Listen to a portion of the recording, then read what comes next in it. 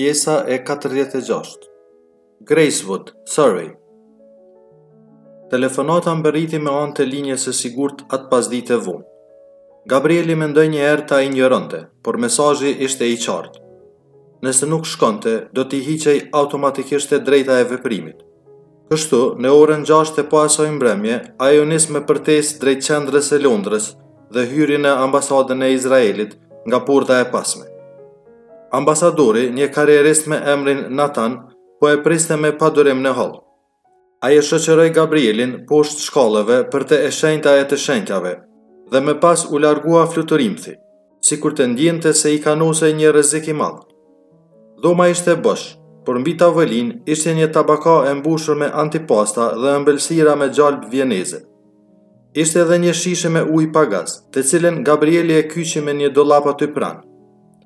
e bëri këtë nga forca e zakonit. Rregullorja e byrosë e përcaktonte qartë që vendtakimet duheshin spastruar nga çdo objekt që mund të shërbente si armë. Kaluan 20 minuta dhe askush nuk hyri në dhomë. Pastaj, më në fund, u shfaq një burrë me fizikun e një mundësi. Kishte veshur një kostum të errët që dukej sikur e kishte një masë më të vogël nga se duhej për trupin e tij, dhe një këmishë me jaka të larta që e bënte të dukej sikur t'i ishte ngulur koka në qafë. Flokët duhej t'i kishte pasur dikur në ngjyrë të çelët, por tanimë shkëlqenin nga thinjat e argjendta dhe i kishte të prera shkurt, si për të fshehur faktin se koha e tij po skadonte me shpejtësi marramendëse. Ai ia nguli sytë për një çast Gabrielit përmes syzeve të vogla. A thua se po mendonte ta vriste në vend, apo të priste edhe pak. Pastaj eci drejt e te tabakaja e ushqimeve dhe tundi kokën ngadalë. A thua ta dinë armiqet e mi? Çfarë, Uzi? Që unë nuk i rezistoj dot ushqimit të mirë. Sidomos kur është kështu, tha Navoti duke marrë një biskotë me gjalpë nga tabakaja. Kam përshtypjen se kjo punë është gjenetike. Edhe gjyshi im vdiste për biskota me gjalpë dhe i shoqëronte gjithmonë me një filxhan kafeje të mirë vjeneze. Më mirë të kesh merak ëmbëlsirat sesa bixhozin ose femrat. Po si, një fjalë goje është, u përgjigj Navoti me keqardhje. Edhe ti je si Shamroni. Nuk keni asnjë dobësi. Nuk ke ku t'ju kapësh, tha ai. Heshti pak dhe pastaj shtoi. Ti je i patemit, Gabriel. Gabrieli e kuptoi sakaq se ku donte të dilte Navoti dhe heshti teksa ai kundronte biskotën me gjalpë, sikur ajo të ishte zgjidhja e të gjitha problemeve të tij. Por ma do mendja se edhe ti duhet ta kesh një pikë të dobët, tha Navoti më në fund. Fundja ke qenë gjithnjë sentimental dhe kjo ka ndikuar edhe në vendimet që ke marrë. Duhet të heqësh dorë nga kjo kur të marrësh drejtimin e byrosë. Kjo nuk është çështje personale Uzi. Navoti i dha një buzëqeshje nga ato të shtirurat e tij dhe tha: "Pra, nuk do ta mohosh se Shamroni të ka premtuar se do të të bëjë drejtor të byrosë?" "Jo, ia ktheu Gabrieli, nuk e mohoj." Navotit nuk i ishte shuar ende buzëqeshja nga buzët. Ka edhe një pikë tjetër të dobët te ti, Gabriel. Je njeri i ndershëm, më shumë nga ç'duhet. Je shumë i ndershëm për të qenë agjent sekret. Më në fund, Navoti u ul dhe vendosi krahët e tij të mëdhenj mbi tavolinën e mesit. Sipërfaqja e saj u duk sikur do të shembej nga pesha e tij. Kur e pa, Gabrielit i erdhi ndër mend një pasdite e pakëndshme e shumë vjetëve më parë, kur ishte takuar me Navotin për një seancë trajnimi për vrasjet me silenciator. Atë pasdite, Gabrielit i kishte ikur ngjyra e fytyrës me dhjetëra herë. Sa kohë më ka mbetur mua, e pyeti Navoti. Uzi të lutem, të mos flasim për këtë. Pse jo? Sepse asnjëri nga ne nuk do të ndihet mirë. Me sa po kuptoj, ti ndihesh fajtor. Jo aspak. Sa kohë ke që e planifikon të më zësh vendin? Uzi, ti më njeh dhe e di mirë që nuk e bëj këtë. Kujtoja se të njihja. Navoti shtyu tabakanë me ushqime dhe hodhi sytë rrotull dhomës. Po këta, asnjë shishe ujë nuk vendosin dot? E kishin sjellë, por e kyça unë në dollap. Pse? Sepse nuk doja që ti të më gjuaje me atë. Navoti vuri dorën mbi krahun e Gabrielit dhe ia shtrëngoi fort. Gabrielit iu mpi dora në vend. Ma merr pak të lutem, tha Navoti. Është më e pakta që mund të bësh. Gabrieli u ngrit në këmbë dhe shkoi të merrte shishen. Kur u ul përsëri, Navotit dukej sikur i kishte rënë pak inati, por vetëm pak ama. Ai hoqi tapen prej alumini, duke përdorur vetëm gishtin e madh dhe atë tregus, dhe mbushi ngadalë përgjysmë një gotë plastike. Gabrielit nuk ia mbushi. Çfarë kam bërë për ta merituar këtë? pyeti ai, më shumë sikur i drejtohej vetes sesa Gabrielit. Unë kam qenë drejtor i mirë, madje shumë i mirë. I kam çuar përpara me dinjitet të gjitha çështjet e byrosë dhe kam shpëtuar kombin tim nga shumë ngatërresa të huaja. A munda ta mbyllja programin e armëve nukleare të Iranit? Jo, nuk munda. Ama as nuk e çova vendin drejt katastrofës dhe ky është objektivi kryesor i një njeriu si unë. Duhet të sigurohet që kryeministri të mos e humbasë toruan dhe të mos e çojë vendin drejt konflikteve të panevojshme. Por nejse, Ti do t'i mësosh të gjitha këto kur të zësh karrigen time. Kur pa se Gabrieli nuk ktheu përgjigje, Navoti piu edhe pak ujë, me etjen e një deveje në shkretëtirë. Ai kishte të drejtë për diçka. Kishte qenë vërtet një drejtor i mirë. Por mjerisht për të, të gjitha sukseset gjatë mandatit të tij i kishte siguruar Gabrieli. Ka edhe diçka tjetër që do ta mësosh shumë shpejt, rimori fjalën ai. Nuk është e lehtë ta drejtosh shërbimin sekret të vendit me Shamronin që të rri si çekan mbi kokë. Ai e ka për detyrë ta bëjë atë. Ishte Shamroni ai që e ngriti shërbimin sekret dhe e bëri atë që është sot. Plaku është ai që është, asgjë më shumë se një plak. Bota ka ndryshuar shumë që kur Shamroni u largua nga detyra e kreut të byrosë. Uzi, nuk besoj se po i thua seriozisht këto. Më fal Gabriel, por nuk kam ndër mend të tregoj mëshirë ndaj Shamronit në këto momente. As ndaj teje për atë punë. Pas atyre fjalëve, Navoti ra në heshtje. Natani, ambasadori me sy të picëruar pas xhamave të zyrës, pa dy burra që e shikonin njëri-tjetrin në sy nga dy anët e tavolinës. Edhe sa kohë më ka mbetur? Uzi, do të më lejoni ta mbyll mandatin? Natyrisht. Mos e thuaj sikur nuk mund të më lejoni ta çoj deri në fund, Gabriel, sepse nëse i sheh gjërat me syrin tim, tani gjithçka mund të ndodhë. Ti ke qenë drejtor i mirë, Uzi. Më i miri pas Shamronit. Po dhe si po shpërblehem? Duke dalë në pension para kohe. Sepse të gjithë e dimë se brenda bulevardit Mbreti Saul nuk mund të ketë dy drejtorë dhe as zëvendësdrejtor. Përse jo? Sepse nuk ka ndodhur kurrë më parë. Asgjë nga këto nuk ka ndodhur kurrë më parë. Më fal Gabriel, por nuk dua ta mbyll karrierën time me mëshirë. Mos ia bëj vetes këtë Uzi. Po më flet si nëna ime tani. Si është ajo meqë ra fjala? Mbahet. Mund të të ndihmoj për ndonjë gjë. Mund të shkosh ta takosh kur të kthehesh.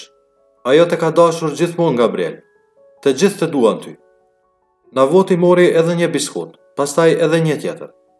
Sipas llogarive të mia, tha ai duke thërrmuar biskotën ndër gishtat e tij, kanë mbetur edhe katërmbëdhjetë muaj deri në fund të mandatit. Pra është në dorën time të vendos nëse mund të shkojnë katër nga njerëzit më të mirë në qytetin më të rrezikshëm të botës. Ti më dhe leje ta drejtoj unë këtë operacion. Natyrisht, më kishin vënë pistoletën në kokë. Ende aty e ke. E di, prandaj nuk dua të nxitohem. Kështu që po të kërkoj të marrësh frymë thellë e ta mendosh mirë këtë punë.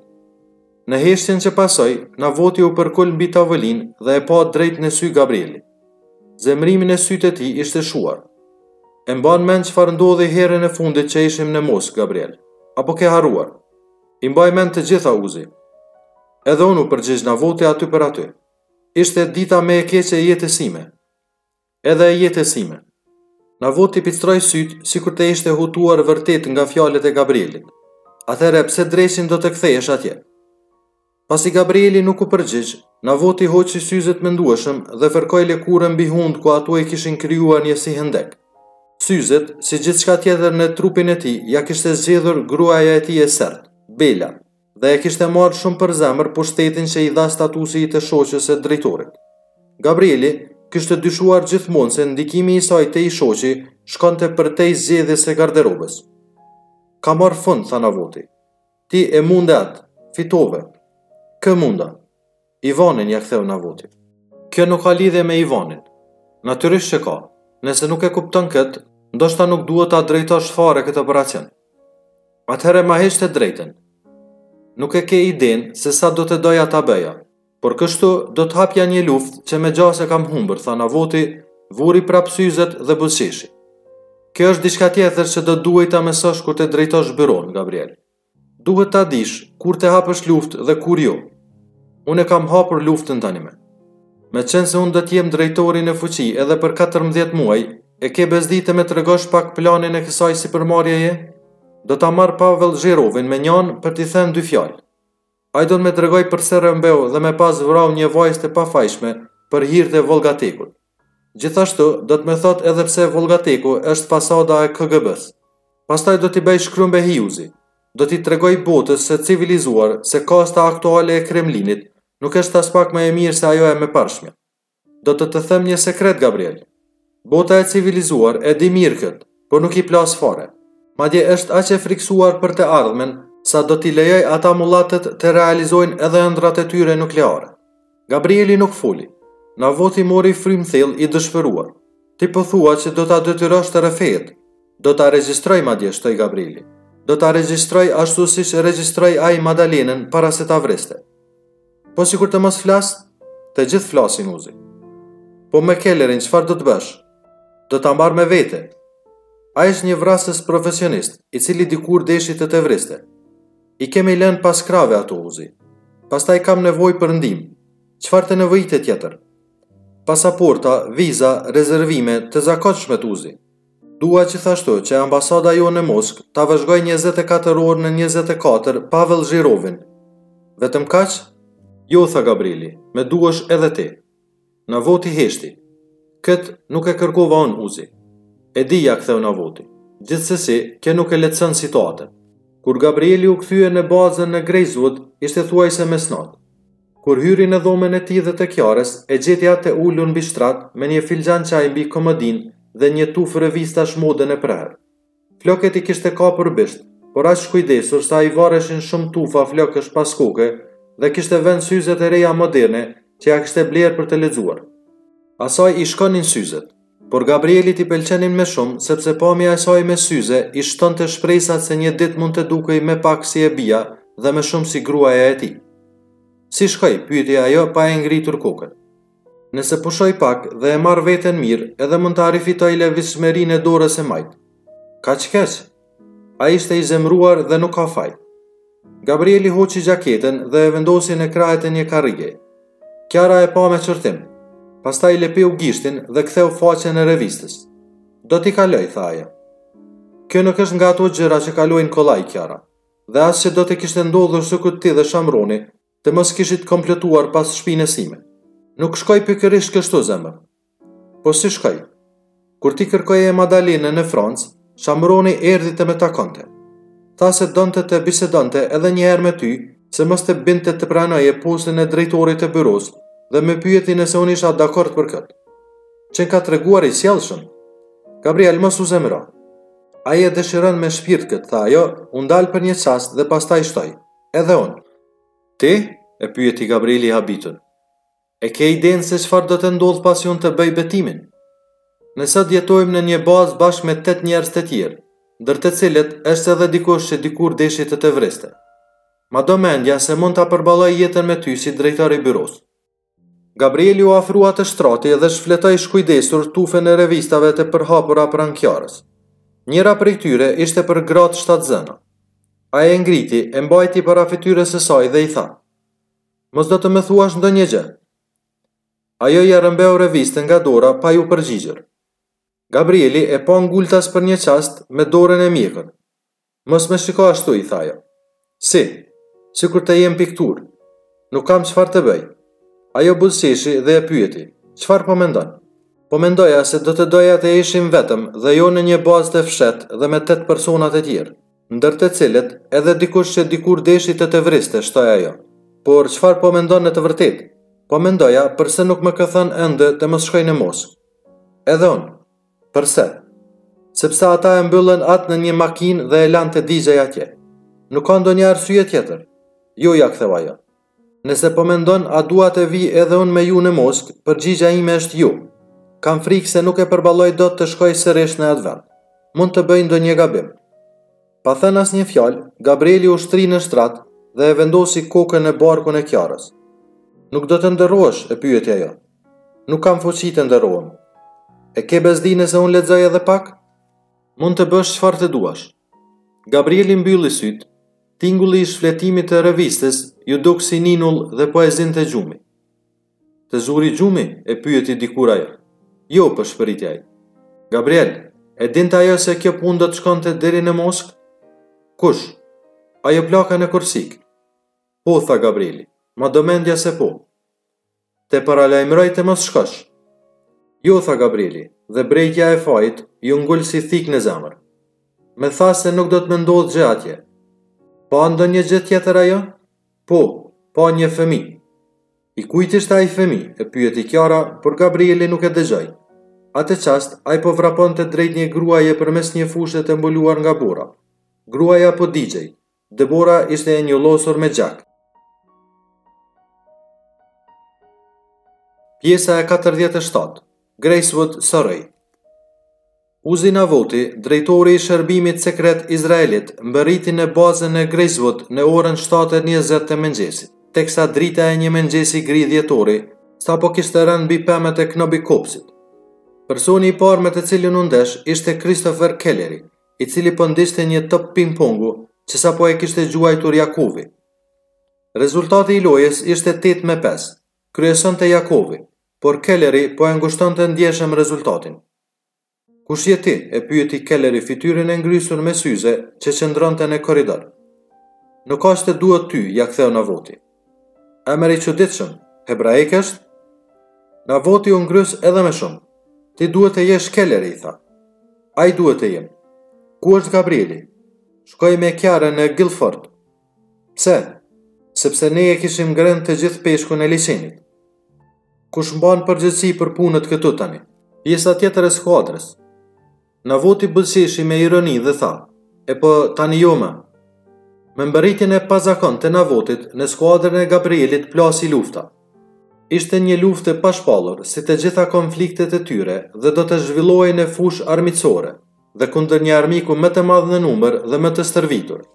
Byroja e Izraelit njihej si një prej shërbimeve sekrete më të mira në botë, e megjithatë nuk mund të matej me vëllazërinë e shpatës dhe mburojës.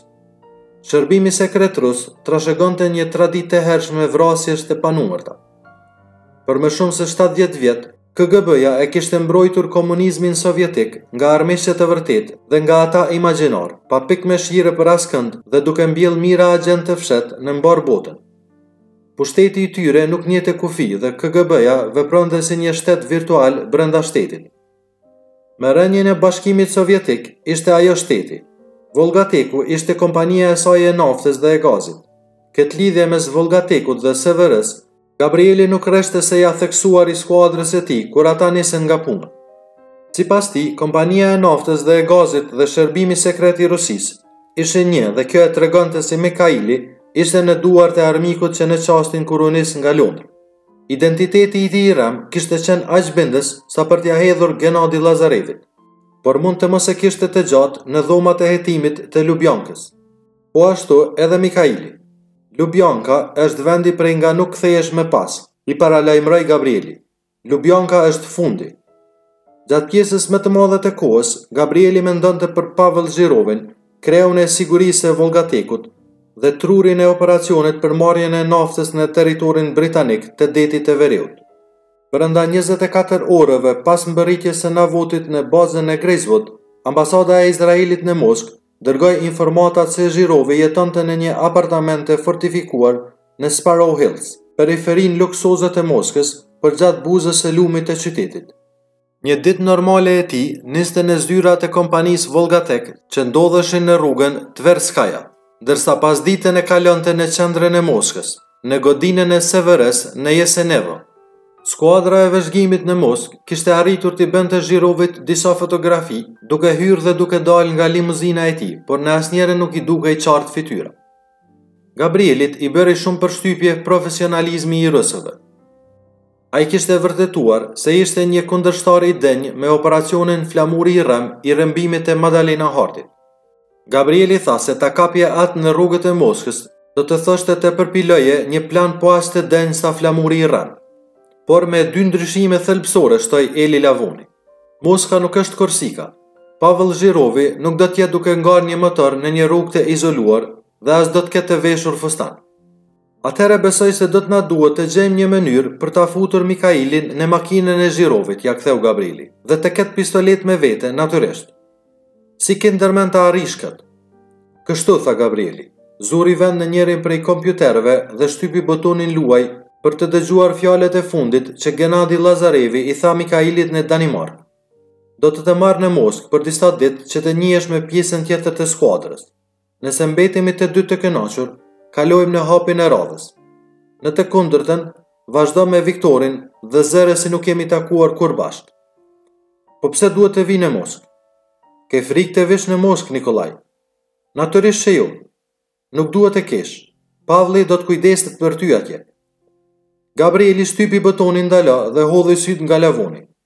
Ndoshta e kam gabim, tha ai, por dyshoj se mbërritja e Nikolas Avedonit në Rusi nuk do të kalojë pa probleme. Çfarë problemesh mund të ketë? Nga ato që vetëm Pavëlli mund t'i zgjidhë.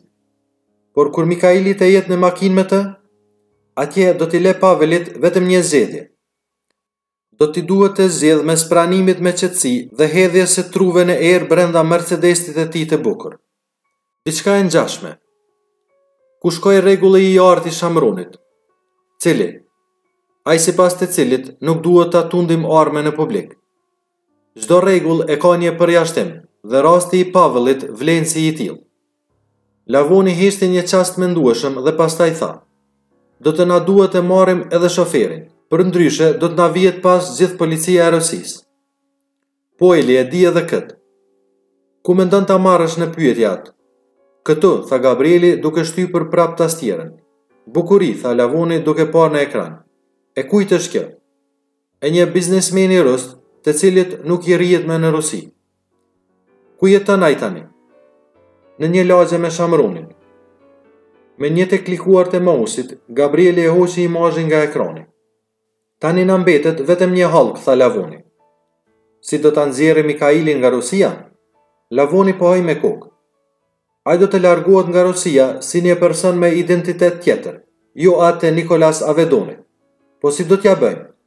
Ashtu si bëmë me Eihmanin kur e nxorëm nga Argjentina, me kompaninë ajrore El Al? Gabrieli pohoi me kokë.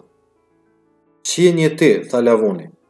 Po si, ja ktheu Gabrieli buzagaz. Prit se ky është vetëm fillimi. Navoti e aprovoi menjëherë planin e Gabrielit. Pas kësaj, skuadrës i mbeteshin pesë ditë derisa Mikhaili t'i kthente përgjigje Lazarevit nëse do të shkonte në Moskë apo jo.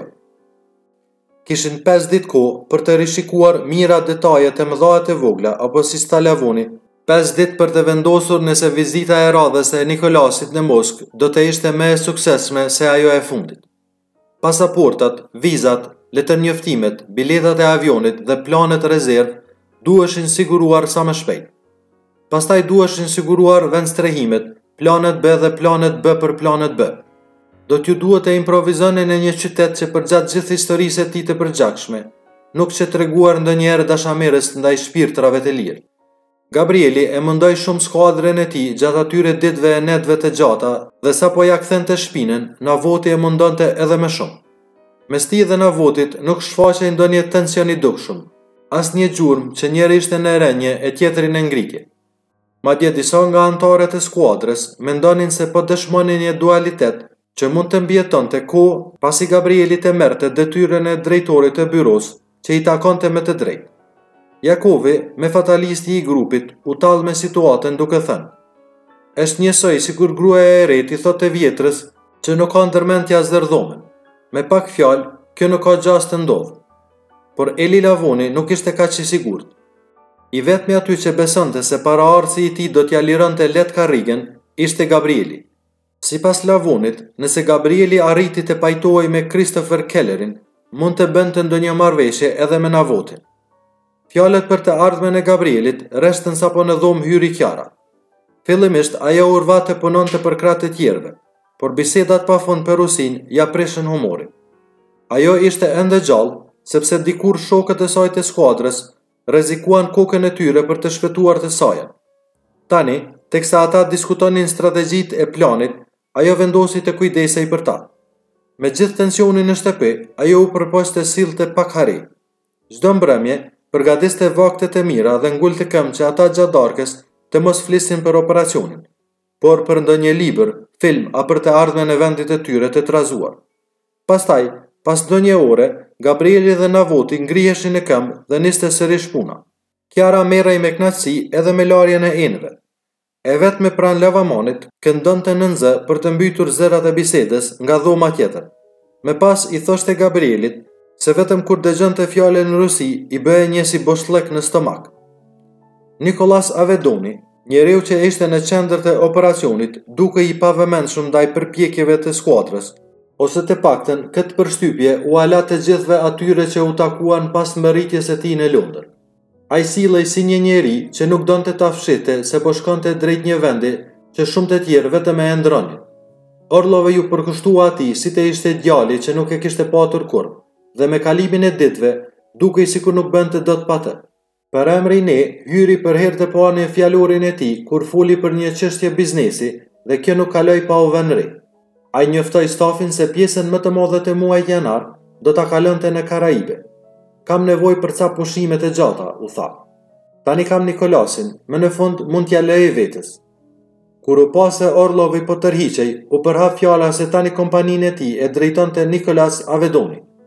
Ai u bë shumë i rëndësishëm dhe i pakapshëm, por kur mori një telefonatë nga Jonathan Albrighti, i një kompanie me emrin Markham Capital Advisors, pranoi të shkonte menjëherë. Takimi u zhvillua në zyrat e tij me pamje nga sheshi Hanover, ndonëse tema e bisedës nuk kishte asnjë lidhje me biznesin apo investimet. Në mbyllje të takimit, ai telefonoi një numri në Moskë.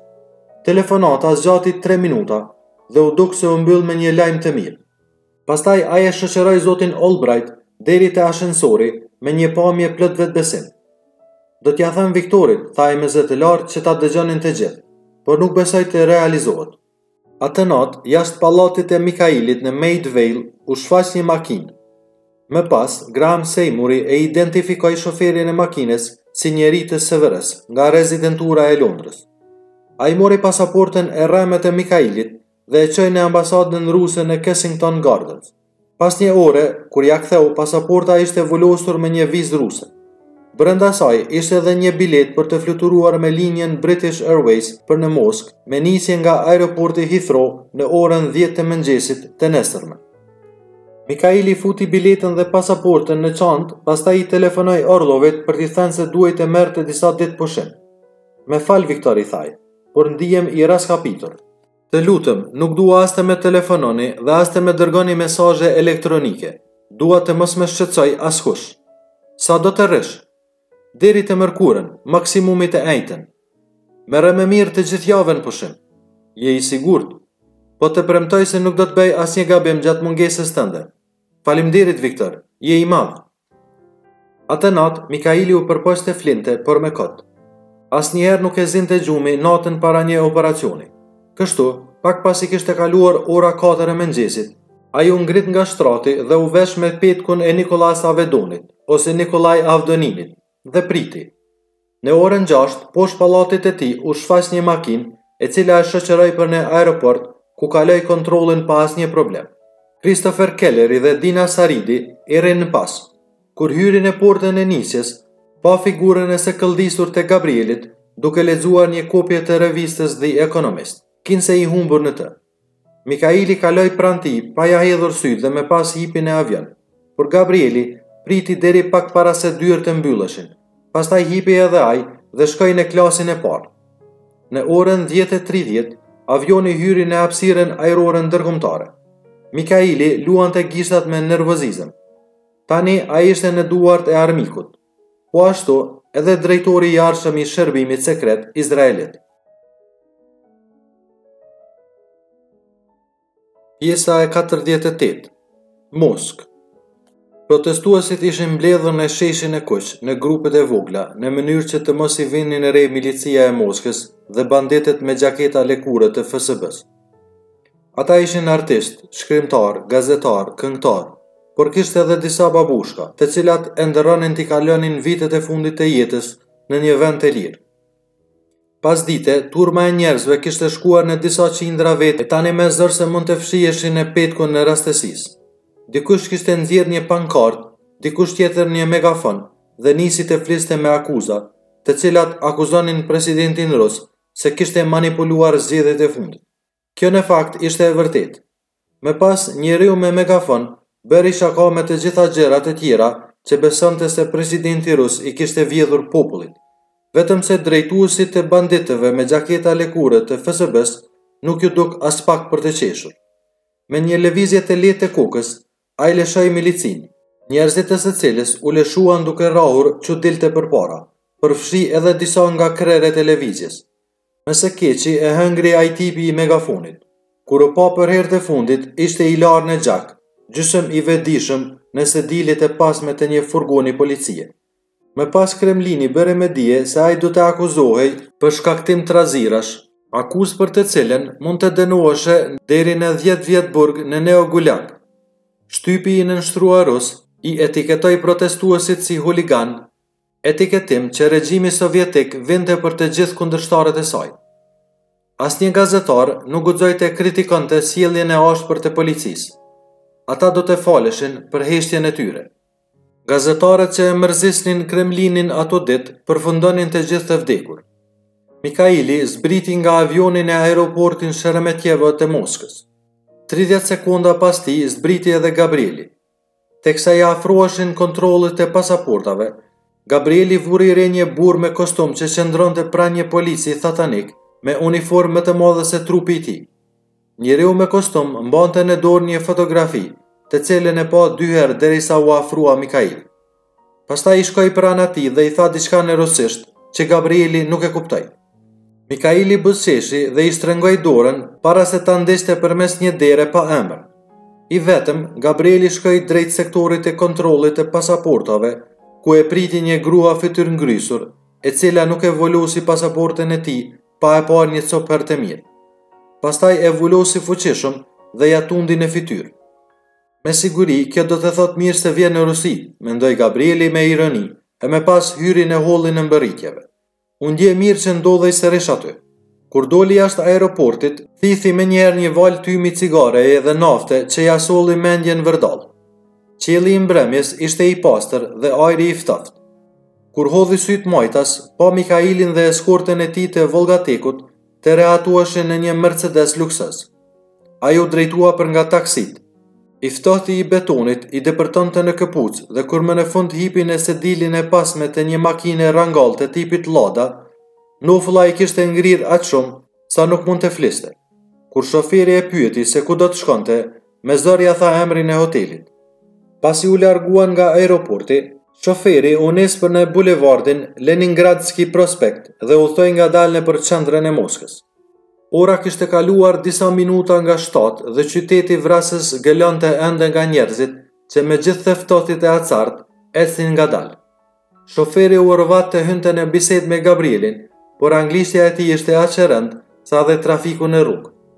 Gabrieli vështronte nga dritarja ndërtesat e epokës sovjetike, të cilat shtriheshin përgjatë bulevardit. Tani, ato ishin thuajse të rrënuara.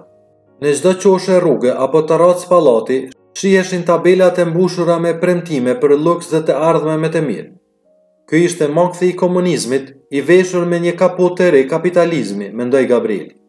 Më në fund, kaluan Garden Ring dhe bulevardi Prospekt ia la vendin rrugës Tverskaja, verzionit moskovit të bulevardit Madison. Pastaj morën të poshtë një kodër të gjatë, kaluan zyrat qendrore të Vollgatekut që shëndrisnin për së largu e më pas ndanë mureve me tulla të kuqe të Kremlinit në rrugën Okhotny. Pastaj u kthyen majtas, kaluan me shpejtësi përgjatë Russian Duma dhe teatrit Bolshoi. Por Gabrieli nuk i kushtoi rëndësi asnjërës prej tyre. Ai kishte sy vetëm për ndërtesën e verdhë që ngrihej në lartësinë e sheshit Lubjanka. KGB-ja, i tha shoferi duke treguar me gisht andej. Nuk ka KGB, ia ktheu në çast Gabrieli. KGB-ja i përket të shkuarës. Shoferi diç mërmëriti për naivitetin e të huajve e vazhdoi drejt hyrjes së hotelit Metropol. Holli i tij ishte restauruar duke ruajtur origjinalitetin, por mesogruaja e recepsionit nuk ishte ndryshuar aspak. Ajo e priti Gabrielin me një buzëqeshje të ngrirë, bëri disa pyetje për natyrën e udhëtimit të tij dhe pastaj i zgjati formularin e regjistrimit, një kopje e të cilit do t'i dërgohej autoriteteve përkatëse. Gabrieli e plotësoi shpejt e shpejt si Jonathan Albright-i i kompanisë Markham Capital Advisors dhe mori çelësin e dhomës së tij. Një portier i tha ta ndihmonte me çantën, por u ndie i lehtësuar kur Gabrieli i tha se mund ta mbante edhe vetë. Megjithatë, ai i dha një bakshish të mirë për mundimin, por kur pa shprehjen në fytyrën e tij pasi ia dha, kuptoi se nuk e njihte mirë valutën ruse. Dhoma e tij ishte në katin e katërt, me pamje nga bulevardi Teatralni me dhjetë korsi. Gabrieli e mori me mend se dhoma përgjohej dhe as që e mori mundimin të kërkonte për përgjues. Në vend të kësaj u telefonoi dy klientëve, të cilët në fakt as që ishin klientët e tij, e me pas kontrolloi postën elektronike që ishte mbushur plot gjatë kohës sa ishte në fluturim. Një mesazh ia kishte dërguar një avokat nga Nju Jorku. Ai fliste për taksat e një investimi me ligjshmëri të dyshimtë. Në të vërtetë, atë e kishte dërguar Eli Lavoni, që ndodhej vetëm një kat më poshtë në po atë hotel, dhe përmbajtja e vërtetë e tij u shfaq vetëm pasi Gabrieli futi fjalëkalimin e duhur. Me sa dukej, Genadi Lazarevi e kishte çuar kandidatin e tij për punonjës në O2 Lounge në Ritz, për të pirë e për të ngrënë diçka të lehtë. Të pranishëm ishin edhe vetë Lazarevi, Pavel Zhirovi dhe katër bukuroshe ruse. Fotografitë që e shoqëronin mesazhin i kishin realizuar Jakovi dhe Dina, të cilët ndodheshin në dhomën ngjitur me të tijen. Gabrieli rifuti fjalëkalimin dhe mesazhi mori formën e tij origjinale. Pastaj vuri një palë kufje dhe hyri në një linjë të sigurt, për të përgjuar telefonin celular të Mikailit. Dëgjoi një trokitje gote, të qeshura dhe kakarisjet e bukurosheve ruse, të cilat dukeshin aq të pamenta, edhe pse në një gjuhë që ai nuk e kuptonte. Pastaj dëgjoi zërin e njohur të Genadi Lazarevit t'i pëshpëriste Mikailit në vesh, Pusho mirë sonte. Nesër kemi plane të mëdha për ty. Ata ndenjën në sallon deri në orën njëmbëdhjetë, kur Mikaili u rikthye në suitën e tij luksoze në Ritz, me një dhimbje koke të tmerrshme. Pavarësisht nga këshilla e Lazarevit, ai nuk vuri dot gjumë në sy atë natë. Në mendjen e tij, endeshin vorbulla operacionesh të mëparshme, të lidhura me njëra-tjetrën, si në një edicion të jashtëzakonshëm televiziv mbi ngjarjet më katastrofike të shekullit. Donte të bënte diçka. Të bënte ndonjë lëvizje, por me siguri që brenda në dhomë kishte kamera të fshehta sigurie dhe nuk lëvizi nga vendi. Ndenji në shtrat, si kufomë, deri në orën 7 të mëngjesit, kur më në fund e ngriti zilja.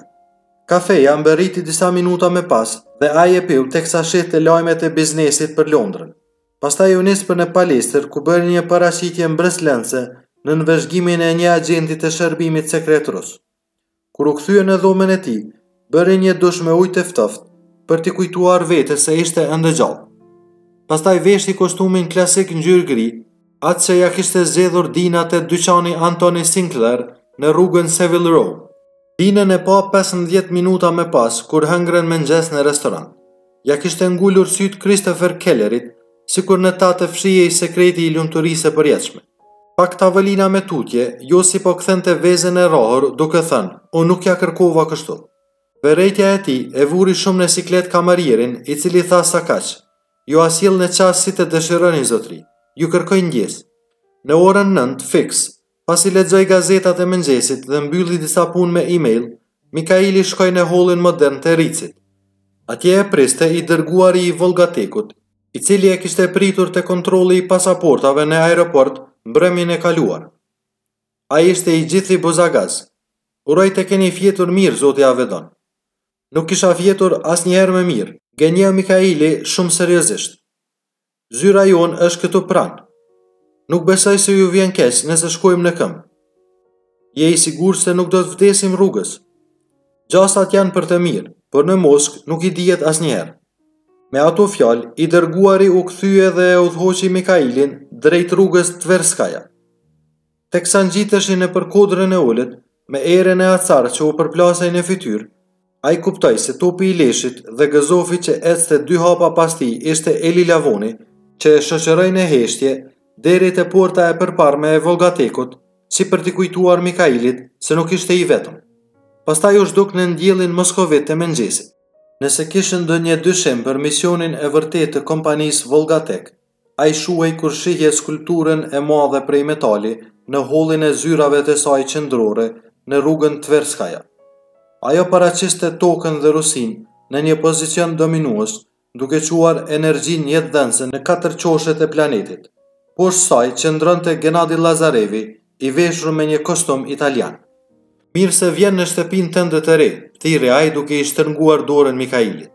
Apo duhet të them në shtëpinë tënde të vërtetë. T'i marrim gjërat shtruar, Genadi. Lazarevi ia shtrëngoi edhe më fort dorën Mikailit, sikur t'i thoshte se ashtu do të ndodhte medoemos, dhe pastaj e udhëhoqi për te një ashensor privat, i cili i çoi në katin e fundit të godinës. Në hollin e tij, ishte një pankartë ku shkruhej, mirë se vjen Nikolaj.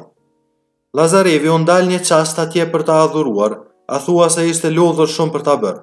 Para se të drejtonte Mikailin, për te një zyrë e madhe, që i tha se mund ta përdorte sa herë të vinte në Moskë.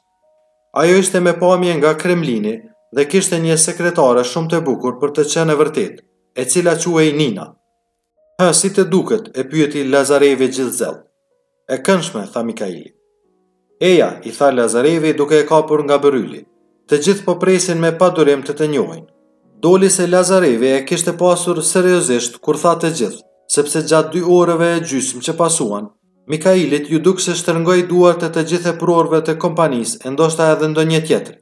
Kishte disa dhjetëra zëvendësdrejtorë të formave, përmasave dhe përgjegjësive të ndryshme, si dhe një figurë si kufomë që quhej Mentov, i cili tha se merrej me analizat e riskut, por Mikaili nuk mori vesh asgjë nga ato që tha ai. Pastaj u prezantua me ekipin shkencor të Volgatekut, gjeologët, të cilët ishin në kërkim të burimeve të reja të gazit dhe të naftës nëpër botë. Po ashtu takoi edhe inxhinierët që do të siguronin planet për t'i nxjerrë ato nga toka. Më pas shkuan një kat më poshtë për t'u takuar me më të vegjlit, financierët e rinj që ëndrronin të bënin karrierë, kufomat e gjalla që qëndronin në tavolinat e punës me nga një filxhan kafeje me logon e kompanisë.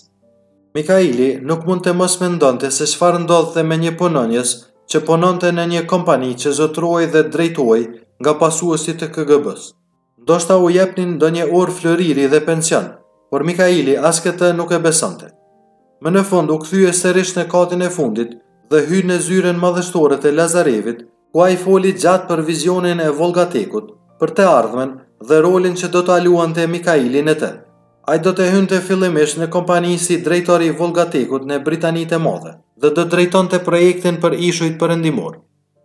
Sapo të fillonin të nxirrnin naftë, Mikaili do të emërohej në poste më të larta, kryesisht në Evropën Perëndimore dhe në Amerikën e Veriut. A je i kënaqur me kaq? pyeti Lazarevi. Ndoshta. Çfarë do që të bindesh për ta lënë Viktorin dhe të punosh për mua? Dua para, Gennadi, dua shumë para. Nikolaj, Të siguroj që paratë nuk janë asnjëherë problem për ne. Atëherë jam në dispozicionin tuaj. Lazarevi hapi një çantë dore lëkure prej nga nxori një fletë. Si kompensim, do të kesh edhe apartamente në Aberdeen, Londër dhe Moskë, nisi ai. Pa dyshim që do të udhëtosh me avion privat, dhe do të përdorësh një vilë të Volgatekut në jug të Francës. Përveç rrogës bazë, do të marrësh bonuse dhe stimuj, të cilat do ta çojnë pagesën tënde totale në përafërsisht këtë shumë. Lazarevi e mbajti fletën para fytyrës së Mikailit dhe tregoi me gisht një shifër në fund të saj. Mikaili e pa për një çast, kroi kokën e tij qerose dhe u ngrys. Atëherë si thua? e pyeti Lazarevi. Kjo shifër është e papërfillshme për mua. Lazarevi vuri buzën në gaz. E prisja këtë përgjigje, tha ai duke marrë sërish çantën. Kështu që kam përgatitur edhe një ofertë tjetër, shtoi duke ia treguar fletën e dytë. Po kjo si të duket? Kjo sikur më ngroh pak më shumë, tha Mikaili duke i kthyer buzëqeshjen Lazarevit. Pa dyshim që më ngroh më shumë.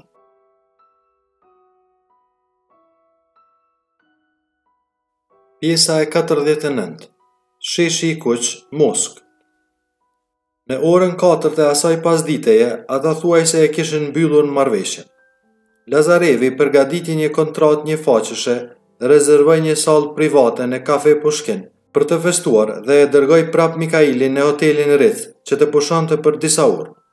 Ai e bëri rrugën e kthimit vetëm në shoqërinë e Gabrielit, i cili shkonte si hije në anën tjetër të trotuarit, me jakën e palltos të ngritur deri në vesh dhe kapelën të ulur deri te sytë. Ai e pa Mikailin teksa hyri në hollin e hotelit dhe pastaj vazhdoi përgjatë rrugës Tverskaja, për në sheshin Revolucioni. Atje pushoi pak për të parë një sozi të Leninit që shoqëronte një grup turistësh japonezë që e ndiqnin si të habitur. Pastaj kaloi poshtë harqeve të portës së Ringjalljes dhe hyri në sheshin e kuq. Në atë kohë ishte errur dhe era më në fund e ndau mendjen ta linte qytetin e qetë atë natë. Kokulur dhe me shpatullat e mbledhura, Gabrieli nuk ndryshonte asnjë grimë nga moskovitët e tjerë teksa nxitonte përgjatë murit verior të Kremlinit dhe ndanë vështrimit të pajetë të rojave të ngrira jashtë mauzoleut të Leninit. Përpara, përkundër një drite të bardhë, ngrihej kubeja në formë kaushi e katedrales së Shën Vasilit. Gabrieli pa orën në kullën e shpëtimtarit, dhe pastaj vazhdoi drejt vendit në murin e Kremlinit ku Stalini, njeriu që vrau miliona, qëndronte qetësisht në një vend nderi. Eli Lavoni iu bashkua një çast më pas. Si mendon? e pyeti Gabrieli gjermanisht. Them se duhej ta kishin varrosur në një varr pa emër në ndonjë fushë të humbur u përgjigj Lavoni. Por fundja, ky është vetëm mendimi im. Jemi të sigurt këtu? Aq të sigurt sa mund të jemi në një vend si Moska. Gabrieli u kthye pa thënë asnjë fjalë dhe e udhëhoqi Lavonin përmes sheshit drejt hyrjes së GUM-it. Para shpërbërjes së Bashkimit Sovjetik, ai kishte qenë mapoja e vetme në vend ku rusët mund të blinin një pallto të mirë dimri apo një palë këpucë të mira. Tani ishte kthyer në një qendër tregtare perëndimore dhe ishte mbushur me vogëlinat e kota që ofronte kapitalizmi. Çatia e saj e xhamtë gumëzhinte nga blerësit mbrëmësorë. Lavoni hodhi sytë nga celulari i tij BlackBerry, teksa ecte në krah të Gabrielit. Së fundmi, ky ishte një nga veprimet tipike të rusëve. Sekretari i Genadi Lazarevit sapo i dërgoi shefit të tij një e-mail, ku i informon për darkën e sotme në kafe Pushkin, tha Lavoni. Në listën e të ftuarve është edhe Pavel Zhirovi. Atij nuk ia dëgjova zërin sot, kur Mikaili ishte në Volgatek. Sepse nuk ishte i pranishëm, ia ktheu Lavoni, pa i hequr sytë nga Blackberry. Pasi u larguan nga apartamenti i tij në Sparrow Hills, u nis direkt për në Jasenevo. Përse shkoi pikërisht sot atje? Përse nuk shkoi në Volgatek që të takonte njeriun e tyre më të ri? Ndoshta ka pasur ndonjë punë tjetër. Çfarë pune? Ndoshta i është dashur të rrëmbente ndonjë tjetër. Pikërisht kjo më shqetëson. Gabrieli u ndal para vitrinës së një dyqani bizhuterish dhe ia nguli sytë një ore të bukur të markës Swiss. Pas tij ishte një kafene e stilit sovjetik, ku gra topolake me përparëse të bardha shpërndanin gjithë gëzim ushqim rus nëpër tabaka ngjyrë gri të kohës së Brezhnjevit. Edhe atë natë, kur kishin kaluar më shumë se 20 vjet nga rënia e komunizmit, kishte ende rusë nostalgjikë për të kaluaren e tyre totalitare. Nuk besoj se do të ftohesh tani nga kjo punë, apo jo? e pyeti Lavoni. Është dhjetor dhe jemi në Moskë, Eli. Nuk ka si të ndodhë ndryshe. Çfarë ke ndërmend të bësh?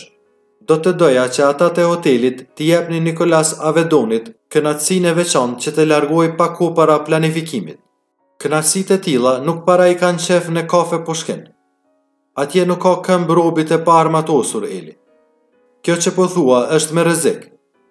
Jo edhe aq, po ta mendosh mirë. Unë them të mos hamë fare darkë dhe të kalojmë drejt e te ëmbëlsira. Si thua? Nuk e ke idenë sa do të doja, tha Gabrieli, por nuk besoj të na lejojë trafiku. Jemi të detyruar të presim pas orës dhjetë. Në të kundërt, nuk e nxjerrim dot jashtë qytetit. Do të jemi të vdekur. Nuk gjeje dot ndonjë fjalë tjetër? Dërgoje mesazhin Eli. Lavoni shtypi disa shkronja në BlackBerry-n e tij dhe e drejtoi Gabrielin drejt daljes në rrugën Ilinka. Era kishte nisur të fryente sërish dhe temperaturat kishin marrë tatëpjetën. Gabrielit i dolën lot nga sytë, teksa ecnin përgjatë fasadave me vezë pashke në godinat perandorake. Në kufjen që e mbante vazhdimisht në vesh, dëgjonte Nikolas Avedonin të këndonte nën zë teksa bënte dush në dhomën e tij në hotelin Ritz. Dua ta vëzhgoni njëzet e katër orë në njëzet e katër, tha Gabrieli. Do ta shoqërojmë për te darka, do të ulemi pranë tij në restorant dhe pastaj do ta shoqërojmë prapë në hotel. Pikërisht aty nis pjesa më e bukur. Gjithnjë nëse Paveli pranon ta shoqërojë Mikailin. Ai është shef i sigurisë në Volgatek. Nëse një prej drejtuesve më të rinj të kompanisë dyshon se jeta e tij është në rrezik, Paveli do të pranojë me vrap. Atëherë, ne do ta bëjmë të pendohet që pranoi. Unë do të isha më i sigurt nëse e nxjerrim jashtë Rusisë. Po ku ta çojmë Eli? Në Ukrainë, Bjellorusi, apo në Kazakistan? Jo, unë po mendoja për Mongolinë në fakt. Atje jo, se nuk ka ushqim të mirë. Ushqimi atje është i tmerrshëm, pranoi Lavoni, por të paktën nuk është në Rusi. Në fund të rrugës, ata u kthyen majtas dhe u nisën tatëpjetë kodrës drejt sheshit Lubjanka. A thua të ketë bërë ndonjë tjetër më parë diçka të tillë? Çfarë? Po ja, të ketë rrëmbyer një oficer të KGB-së brenda territorit të Rusisë. Nuk ka KGB, Eli. Hiqeni këtë ide nga koka. KGB-ja i përket të shkuarës. Jo, nuk është ashtu. Ajo ekziston vetëm se tani quhet FSB dhe i ka zyrat qendrore në atë godinën e shëmtuar që të zë syrin para nesh. Ta dish se do të nxehen keq kur të mësojnë se u mungon një nga të tyret. Nëse bëjmë rrëmbim të pastër, ata nuk do të kenë kohë ta lëvizin as gishtin. Nëse arrijmë ama. Gabrieli heshti. Gabriel, të lutem, më bëj një nder sonte. Nëse nuk je i sigurt, E lëmë për një ditë tjetër, tha Lavoni. Heshti pak dhe pastaj shtoi. Të betohem se nuk dua ta humbas rastin për të punuar me një drejtor si ty. Kishin mbërritur në krye të kodrës. Lavoni frenoi ngadalë dhe ia nguli sytë ndërtesës së verdhë madhështore në anën e kundër të sheshit Lubjanka. Pse mendon se e mbajnë akoma? Pyeti ai me seriozitet. Pse nuk e kanë shembur dhe të ngrinin një monument për viktimat në vend të saj? Për të njëjtën arsye përse nuk hoqën kockat e Stalinit nga muret e Kremlinit, u përgjigj Gabrieli. Lavoni heshti për një çast. E urrej këtë vend, tha ai më në fund. Por në të njëjtën kohë e adhuroj. A thua të jem çmendur vallë? Ti je me kartelë, tha Gabrieli, por ky është vetëm mendimi im. Gjithsesi, vazhdoj të jem i mendimit se do të isha më i qetë sikur ta çonim në një shtet tjetër. Edhe unë Eli, por kjo është e pamundur. Sa larg është Mongolia që këtu? Shumë larg për të shkuar me makinë, tha Gabrieli. Pastaj mos harro që ushqimi atje është i tmerrshëm.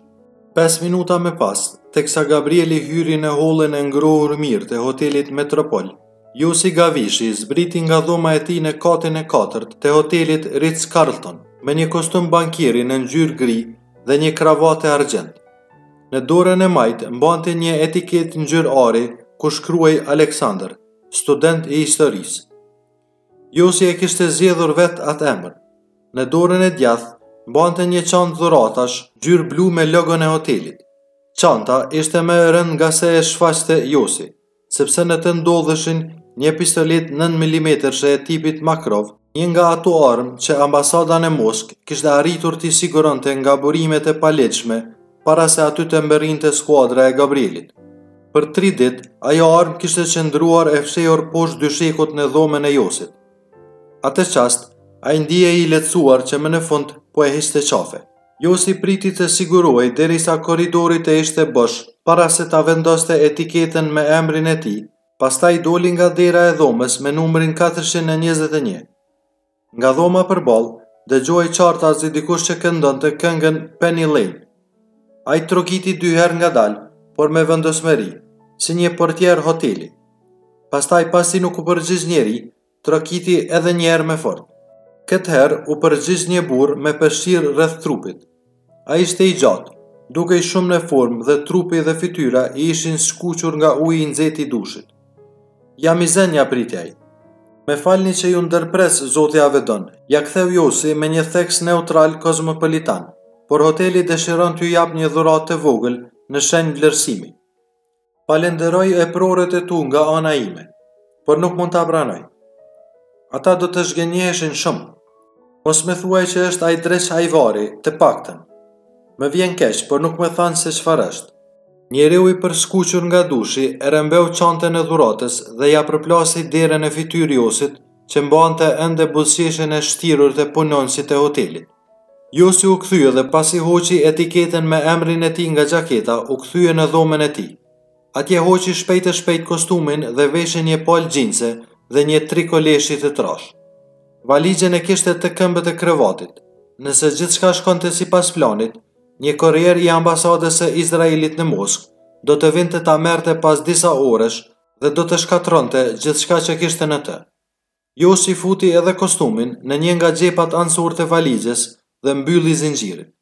Pastaj fshiu mirë e mirë çdo objekt të dhomës që kishte prekur dhe shpresoi ta bënte për herë të fundit këtë. Poshtë në hol, pa Dinen që shfletonte skeptike një gazetë moskovite në gjuhën angleze. Ai i kaloi pranë, sikur të mos e kishte parë kurrë në jetë dhe pastaj doli jashtë.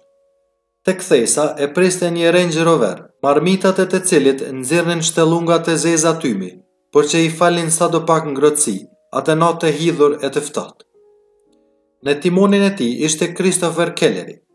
Ai hyri në pikun e trafikut të mbrëmjes në rrugën Tverskaya, pa e mbyllur mirë derën. Para tyre ngrihej kulla e arsenalit e Kremlinit me yllin e kuq që shëndriste si dritë paralajmëruese. Kelleri fëshfëllente me kot teksa i jepte makinës. E di rrugën? e pyeti Josi. Do të kthejë majtas në rrugën Okotni, prap majtas në rrugën Bolshaja Dimitrovka dhe pastaj sërish majtas në unazën e bulevardit. Paske ndenjur gjatë në Moskë, më duket. Nuk kam pasur kurrë kënaqësinë. Nuk mundesh të paktën të shtirësh sikur je nervoz? Përse të jem nervoz? E po sepse do të rrëmbejmë një oficer të KGB-së në mes të Moskës, ja pse.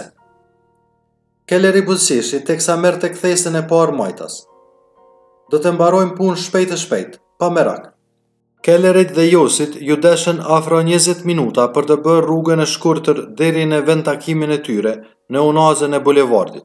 Kur mbërritën atje, Josi i dërgoi Gabrielit një mesazh të koduar të cilin Gabrieli e kaloi menjëherë në bulevardin Mbreti Saul. Mesazhi u shfaq sakaq në ekranin e një kompjuteri në qendrën operative. Si zakonisht, Uzi qëndronte i ulur në karrigen e tij. Ia kishte ngulur sytë një videoje të imazheve të drejtpërdrejta nga holli i hotelit Ritz Carlton, mundësuar nga një transmetues në miniaturë i fshehur në çantën e Dinës. Ora në Moskë ishte shtatë e tridhjetë e gjashtë, ndërsa në Tel Aviv gjashtë e tridhjetë e gjashtë. Në orën gjashtë e tridhjetë e tetë ra zilja e telefonit pranë bryllit të Navotit. Ai afroi menjëherë receptorin në vesh, hungëreu diçka që iu duk si emri i tij dhe dëgjoi zërin e Oritit, sekretares së tij personale. Brenda bulevardit Mbreti Saul, Ajo njihej si Kubeja e Hekurt për shkak të aftësive të jashtëzakonshme për të bërë gjithçka për shefin e saj. Në asnjë mënyrë, u përgjigj Navoti, as që bëhet fjalë. Ai e ka bërë të qartë që nuk do të ikë. Navoti psherëtiu thellë. Dakord, tha ai, lejojeni nëse duhet patjetër. Navoti uli receptorin dhe ia nguli sytë imazhit të hollit të hotelit. Dy minuta më pas, dëgjoi të hapej dera e qendrës operative dhe të mbyllej pas tij.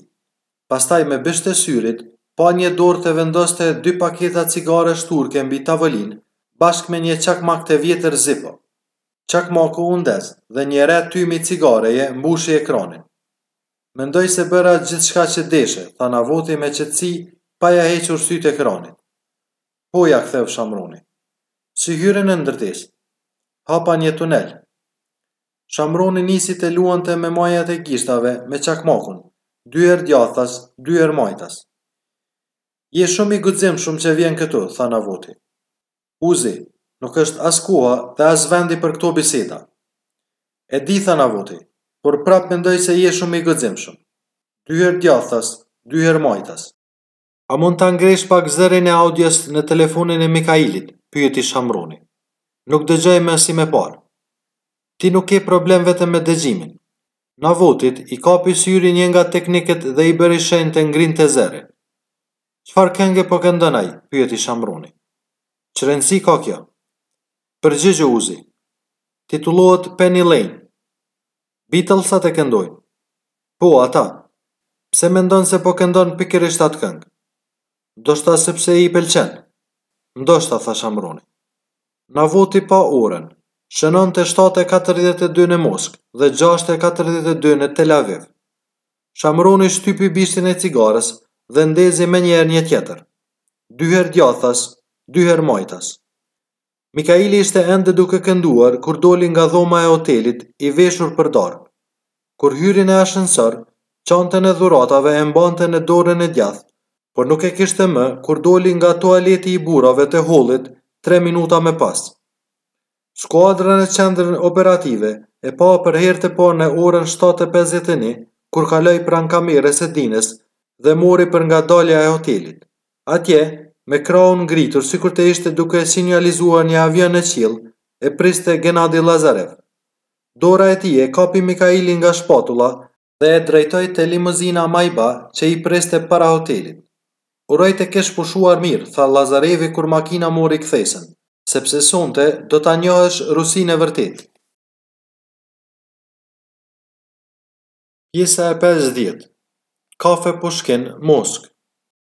Pastaj kur ata po rregullonin dosjet dhe po përgatisnin raportet, plasi një debat i nxehtë për kuptimin e vërtetë të fjalëve të Genadi Lazarevit. Njëri kamp i mori ato fjalë thjesht si një shprehje të vullnetit të mirë, ndërsa tjetri si një paralajmërim që Gabrieli, drejtori i ardhshëm i shërbimit sekret të Izraelit, duhej ta kishte kuptuar mirë. Si zakonisht, ishte Shamroni ai që i dha fund debatit. Ai tha se fjalët e Lazarevit nuk kishin asnjë nënkuptim, sepse fati i Mikailit ishte vulosur në çastin kur ai hipi në atë makinë. Skena e asaj që ndodhi më pas në kafe Pushkin në Moskë nuk mund të ishte më e bukur. veçanërisht në një mbrëmje dhjetori me ajrin e akullt dhe flokët e dëborës që vezullonin nën erën siberiane.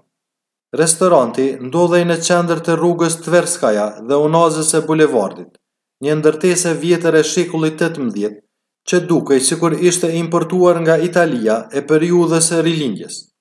Përtej dyerve të bukura franceze të zinte syri një rrugë me tre korsi dhe më tej trafikut një shesh i vogël ku dikur kishin ngritur tenda ushtarët e Napoleonit. Moskovitët nguteshin nëpër rruginat e shtruara me kalldrëm, ndërsa disa nëna të guximshme ishin ulur në stolat poshtë dritave në rrugë dhe shihnin fëmijët e tyre teksa luanin në rrugët e mbuluara nga bora. Mordekaj dhe Rimona ishin ulur në heshtje mes tyre. Mordekaj ia kishte ngulur sytë kafe Pushkinit, ndërsa Rimona fëmijëve. Kelleri dhe Josi kishin gjetur një parking rreth pesëdhjetë metra larg restorantit. Jakovi dhe Odeda gjithashtu në një Land Rover qëndronin pesëdhjetë metra më pas. Darka ishte e caktuar për në orën tetë, por për shkak të trafikut të rënduar të asaj mbrëmje, Lazarevi dhe Mikaili mbërritën në orën tetë e dymbëdhjetë. Mordekaj shënoi orën. Të njëjtën gjë bënë edhe anëtarët e skuadrës që ishin në makinat Land Rover. Po ashtu edhe Gabrieli i cili dërgoi menjëherë një mesazh në qendrën operative në bulevardin Mbreti Saul. Natyrisht që nuk ishte nevoja që ai ta dërgonte atë mesazh, sepse Navoti dhe Shamroni po e ndiqnin të gjithë skenën drejtpërdrejt nga aparati përgjues në celularin e Mikailit. Ata i dëgjuan hapat e rëndë mbi dyshemenë e ashpër të Pushkinit. Dëgjuan edhe kërkëllimin e ashensorit të vjetër që e çoi në katin e dytë. Po ashtu, edhe duartrokitjen e fortë ruse që e priti kur hyri në dhomën private që ishte rezervuar në nder të kurorëzimit të tij. Mikailit i kishin lënë vendin e kreut në tavolinë me Lazarevin në të djathtë dhe Pavel Zhirovin shefin e sigurisë së Vollgatekut në të majtë. Vetëm Zhirovi dukej se nuk ishte shumë i lumtur me ardhjen e të përkdhelurit të Viktor Orllovit. Gjatë gjithë mbrëmjes, ai qëndroi i ngrysur si një kumarxhi i rregjur kur humbet keqas në rulet. Vështrimi i tij i picërruar dhe i errët nuk binte gjatë mbi fytyrën e Mikailit. Kinse po llogariste se kishte humbur dhe po mendonte nëse ia mbante shpirti ta rrotullonte edhe një herë rrotën. Edhe nëse e bezdiste shprehia e Zhirovit, Nikollai nuk e dha asnjë grimë veten. Madje të gjithë ata që e dëgjuan fjalimin e Mikailit, atë mbrëmje, do ta përshkruanin atë si më të mirin që u kishte zënë veshët. Ai ishte Nikolas Avedoni, me të cilin kishin rënë në dashuri për së largu. Ishte Nikolasi i zgjuar, i mprehtë, më mendjendrituri ndër të gjithë në atë sallë, përveç Genadi Lazarevit natyrisht. Ai ishte ndoshta njeriu më i zgjuar në botë. Teksa mbrëmjes i vinte fundi, ai foli më pak anglisht e më shumë rusisht, ndërsa në fund nuk foli më fare anglisht. Tani ishte një prej tyre.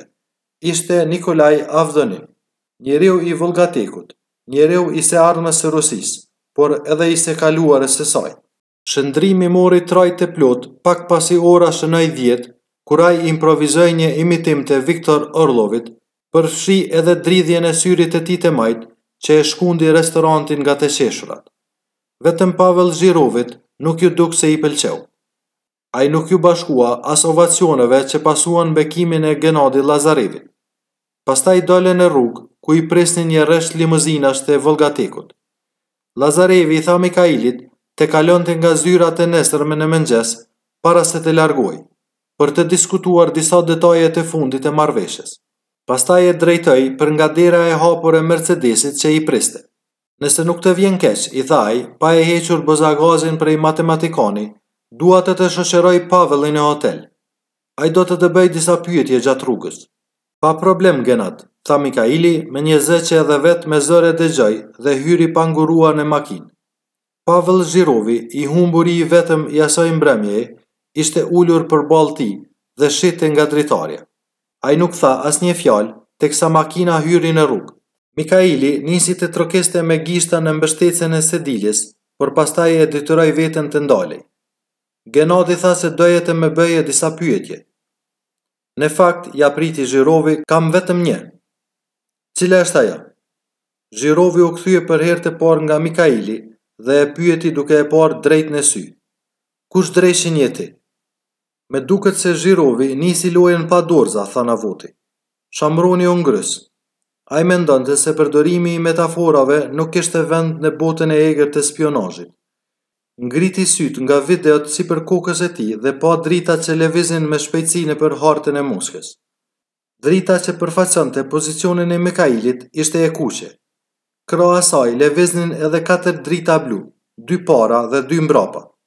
Unë them se e kemi gozhduar mirë, tha Shamruni. Shumë mirë do të thosha unë, por puna është se mos ka edhe Paveli për forcime. Kam përshtypjen se tani kjo nuk ka më rëndësi. Ke ndonjë sugjerim ti? Të nis operacioni, tha Shamruni duke ndezur një cigare.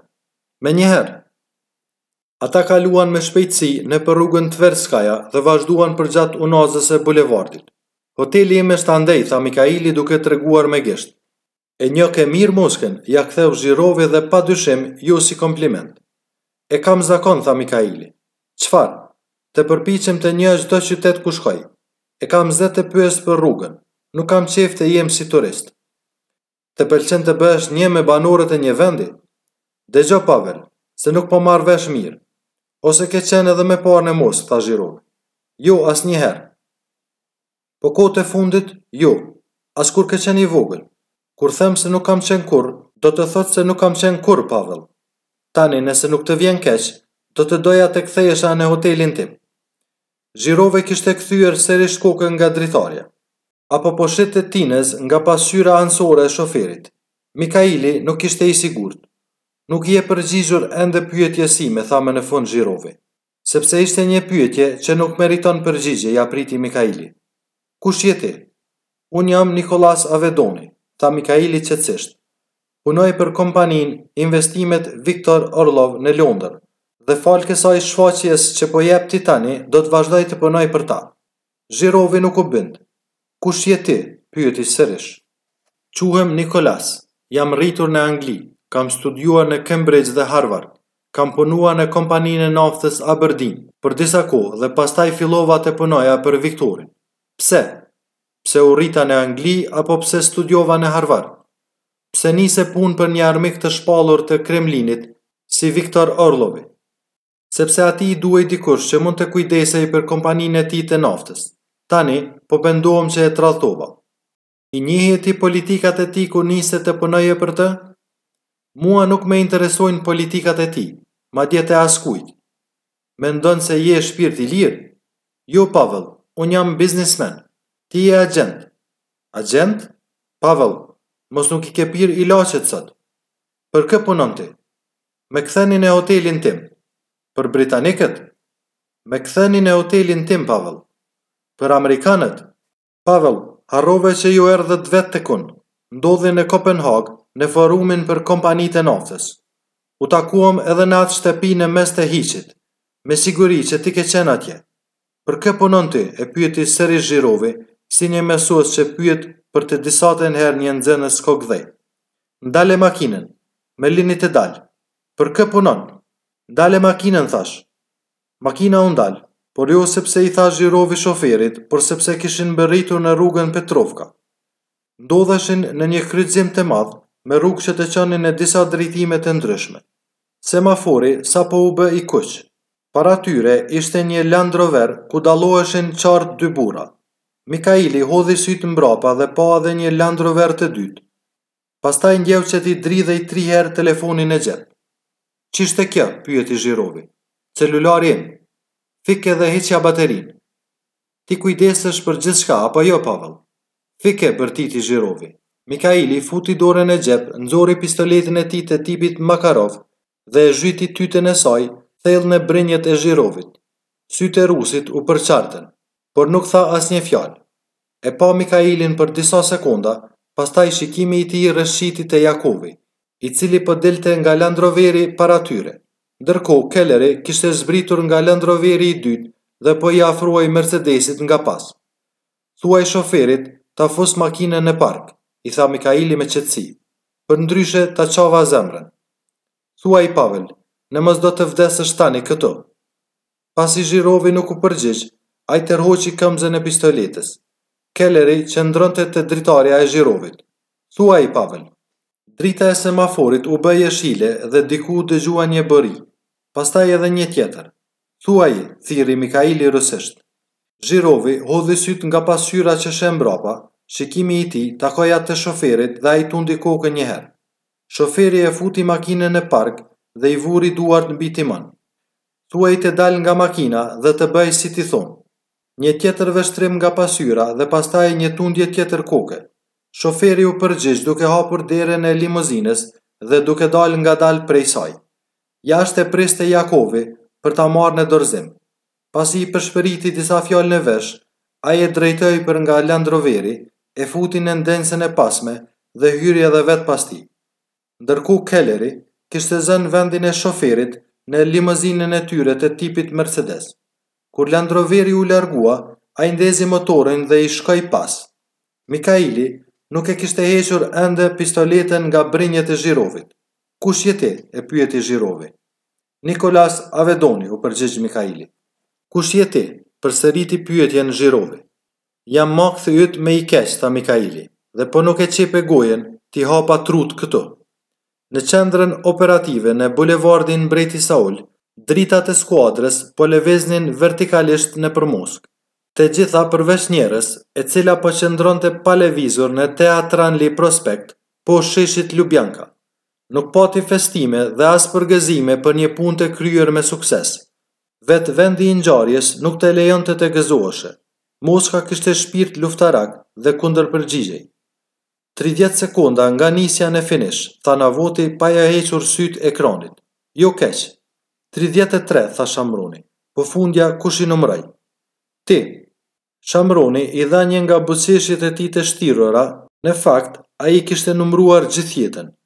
Numrin e familjeve të humbura në zjarret e Holokaustit, numrin e atyre që ua kishin marrë jetën plumbat dhe bombat dhe numrin e herëve që e kishin mashtruar për vdekje. Sa larg është vendstrehimi ynë? Dyqind e tridhjetë e gjashtë kilometra nga Unaza e Madhe. Si është parashikimi i motit? Për faqe të zezë, ia ktheu Navoti, por gjithsesi besoj se ata do t'ia dalin. Shamroni nuk foli. Navoti nuk ia ndante sytë dritave që lëviznin nëpër Moskë. Tridhjetë e tre sekonda, përsëriti ai. Jo keq. Tridhjetë e tre, tha edhe Shamroni. Shpresojmë të mos i ketë parë edhe ndonjë tjetër. Shamroni nuk e dinte, por pikërisht ky mendim kaloi edhe në trurin e njeriut që qëndronte në dritaren e dhomës së katit të katërt në hotelin Metropol. Ai po shihte nga lart kthesën e Teatranli Prospekt, drejt kështjellës së verdhë që ngrihej mbi sheshin Lubjanka. Mendonte nëse do të mund të pikaste ndonjë reagim, ndonjë dritë nga katet e sipërme, zhurmë gomash makinash në garazh, por në fund mendoi se asgjë nga këto nuk kish ngjarë. Lubjanka gjithmonë kishte ditur të ruante sekrete, ashtu si Rusia dinte të ruante të vdekurit. U largua nga dritarja, fiku kompjuterin dhe e futi në xhepin anësor të valixhes. Pastaj mori ashensorin dhe zbriti në holl i shoqëruar nga disa prostituta nga shtatëmbëdhjetë deri në dyzet e pesë vjeç. Jashtë, në një kthesë, priste në heshtje një Volvo, për të cilën kujdesej një roje në dukje mjeran. Ai i dha atij një bakshish të majëm, hipi në timon dhe u largua. Njëzet minuta me pas, pasi kishte bërë xhiro rreth mureve të Kremlinit, iu bashkua vargut të dritave të makinave që rendnin të dilnin nga Moska.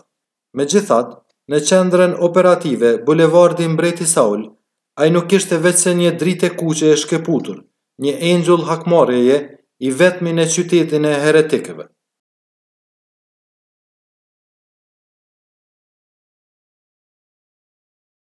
Pjesa e 51 Rajoni Tver Rusi Dikur ajo kishte qenë daça e një njeriu të pushtetshëm, një anëtari të Komitetit Qendror, ndoshta edhe të byrosë politike. Askush nuk e thonte dot këtë, sepse përgjatë ditëve kaotike, pas prishjes së Bashkimit Sovjetik, ishte bërë një katrahurë e vërtetë. Fabrikat që deri më atëherë ishin në pronësi të shtetit, kishin mbetur të mbyllura, pasi nuk gjendeshin më çelësat. Kompjuterët e qeverisë nuk hapeshin pasi askush nuk mbante mend fjalëkalimet. Rusia kishte kërcyer në mijëvjeçarin e ri, pa hartë dhe pa memorie. Pati nga ata që thanë se ajo nuk kishte pasur asnjëherë memorie, paçka se tani amnezia ishte ashiqare. Për disa vjet, ajo daça e harruar kishte mbetur bosh si një relikt, derisa një biznesmen moskovit me emrin Blosh e bleu për dy kacidhe dhe e ndërtoi nga e para. Në fund, si shumë borgjezë të rinj rusë, Bloshi pati konflikte me Kremlinin dhe vendosi të largohej nga vendi sa ishte ende në kohë. U vendos në Izrael, pjesërisht sepse i ishte shkrepur se ishte paksa hebraik dhe kryesisht sepse nuk e pranoi asnjë vend tjetër. Pak nga pak, ai shiti të gjitha pronat në Rusi, përveç daçës në rajonin Tver. Atë ia fali Ari Shamronit dhe i tha ta përdorte për qëllime të mira. Shtëpia ishte ngritur buzë një liqeni pa emër dhe atje shkohej nga një rrugë që nuk figuronte në asnjë hartë. Ajo në të vërtetë nuk ishte një rrugë, më shumë përngjante si një brazdë toke në mes të një pylli mështeknash, e cila kishte qenë aty shumë kohë para se njerëzimi të dinte se ekzistonte një komb i quajtur Rusi. Porta origjinale e daçës ishte ende aty, ashtu si dhe tabelat e vjetra të kohës së Bashkimit Sovjetik, ku shkruhej Ndalim kalimi. Bloshit, si fëmijë i epokës së Stalinit, nuk ia kishte mbajtur ta hiqte. Gabrielit ia kapi syri kalimthi teksa kalonte në rrugën me gunga të mbuluar nga bora. Pastaj u shfaq daça, hijerëndë prej druri, me çati me majë dhe një verandë të madhe rreth e rrotull. Jashtë saj, ishin parkuar disa automjete, përfshi edhe një Mercedes C-Class në pronësi të kompanisë Volgatec.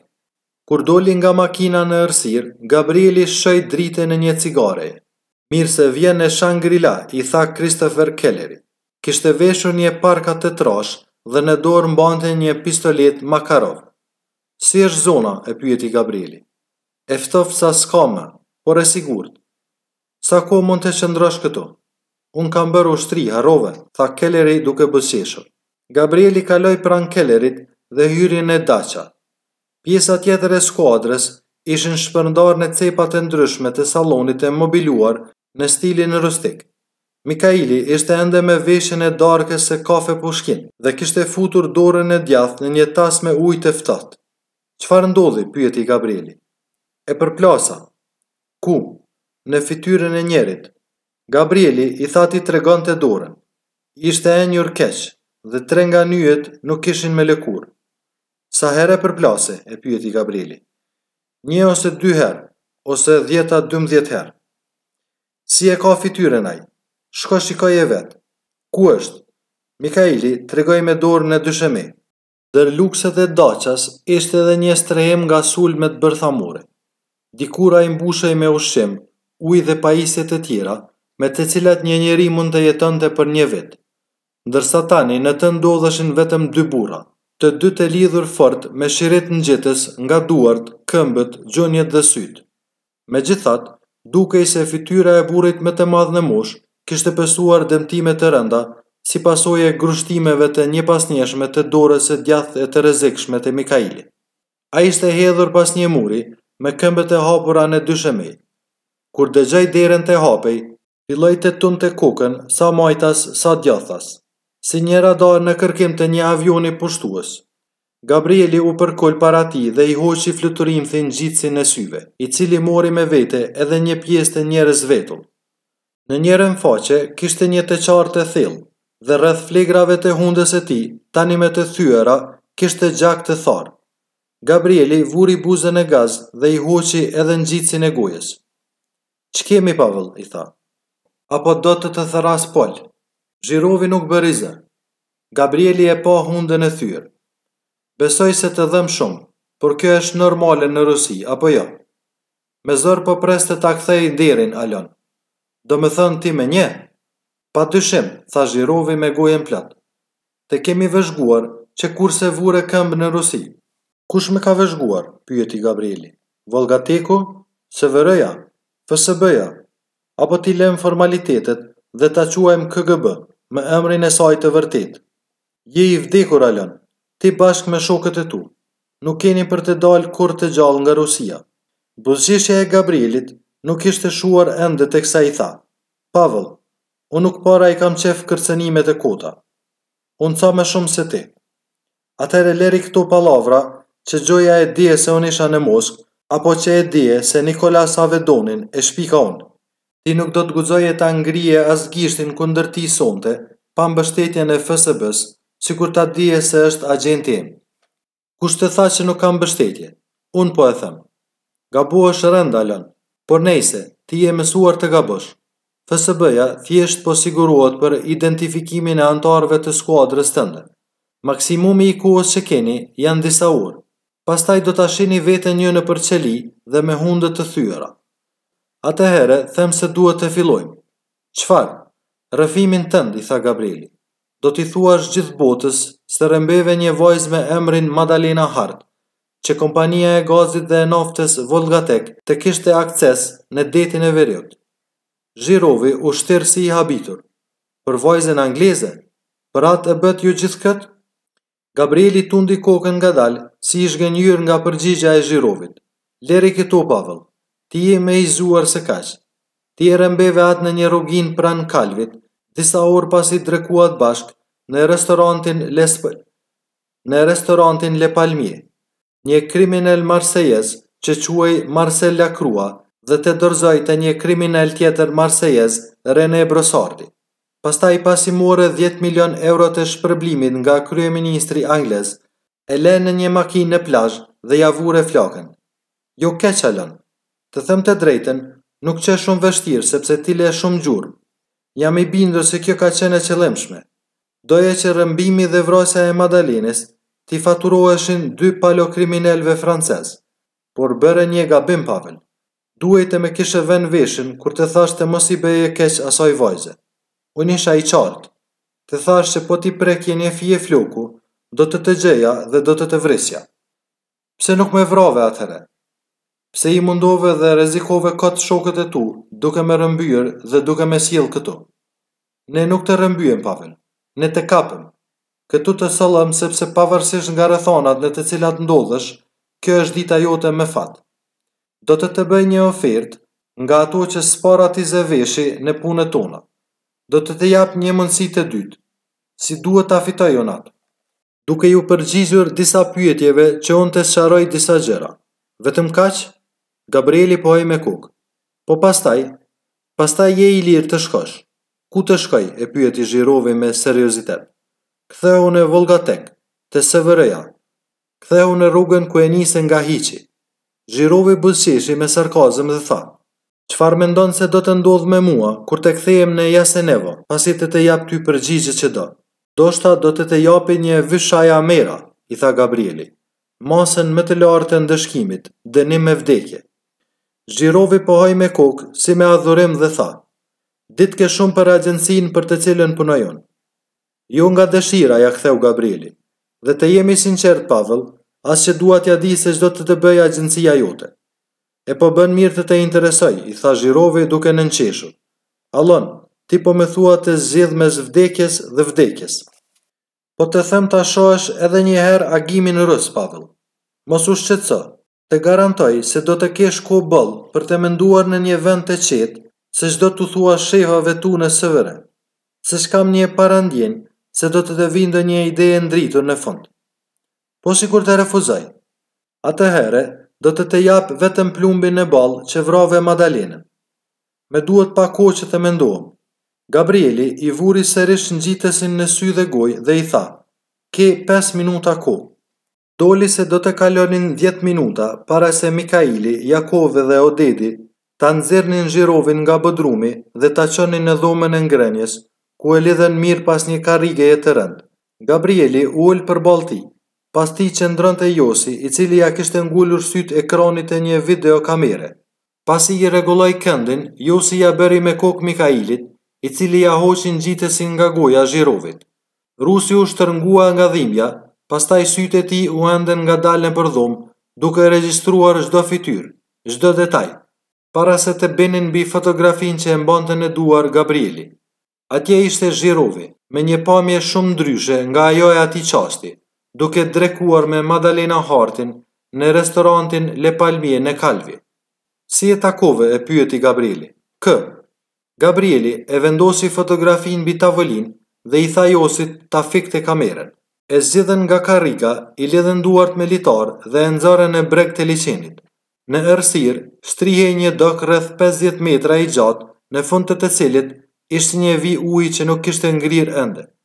Zhirovi hyri pa bërë zë, ashtu si i ka hije një burri të rrethuar nga tre burra të tjerë, të tërbuar nga inati. E di sa kohë mund të mbijetojë njeriu në ujë kaq të ftohtë? e pyeti Kelleri. Pas dy minutash, nuk do të ndiejë më asgjë dhe as nuk do të mund të lëvizë. Me gjasë pas pesëmbëdhjetë minutash do të humbasë ndjenjat, nëse nuk është mbytur më parë. Gjithmonë nëse nuk është mbytur më parë, tha Gabrieli. Kelleri pa një çast në heshtje figurën që kridhej në ujë. Nga do ta kuptosh që duhet ta nxjerrim që aty, pyeti më në fund. Kur të fillojë të fundoset.